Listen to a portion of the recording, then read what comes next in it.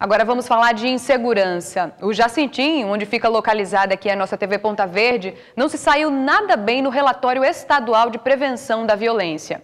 O bairro registrou o maior número de homicídios de Maceió até 2015. E pelas ruas não é difícil encontrar vítimas dos bandidos, viu? Maria já perdeu a conta de quantas vezes a loja dela foi assaltada.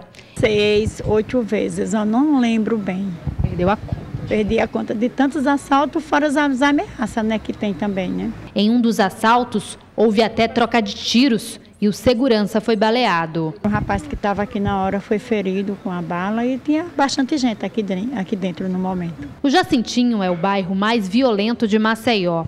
De 2012 a 2015, foram registrados 303 assassinatos. Esse número negativo para o bairro veio do último relatório do Comitê Estadual de Prevenção da Violência. As pesquisas foram realizadas pela UFAL, FAPEAL e Secretaria da Segurança Pública.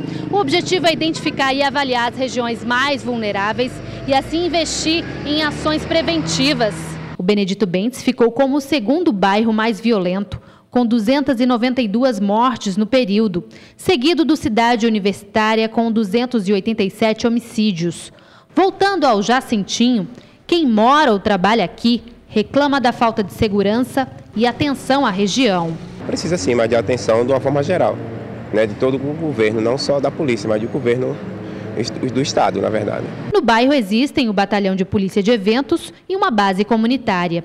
De acordo com o Comando de Policiamento da capital, há rondas constantes na região, mas a deficiência no efetivo e, particularmente nesta área, a geografia caracterizada pelas grotas dificulta o trabalho policial. Em virtude dessa dificuldade geográfica, nós utilizamos motocicletas que tenham um acesso mais facilitado e também os setores de inteligência integrado da Polícia Militar, Polícia Civil e da Secretaria de Segurança trabalham de forma conjunta para que a gente possa agregar informações e chegar de uma forma mais eficiente àqueles que estão praticando delitos, inclusive a questão do tráfico de drogas.